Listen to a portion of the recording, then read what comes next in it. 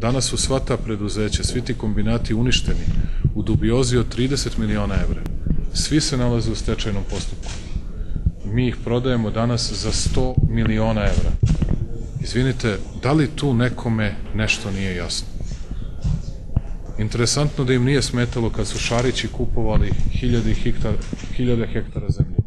Nije im smetalo kada su neki iz okruženja koji bi možda mogli da imaju neki nacionalni interes koji nije u skladu sa našim nacionalnim interesima kupovali tu zemlju.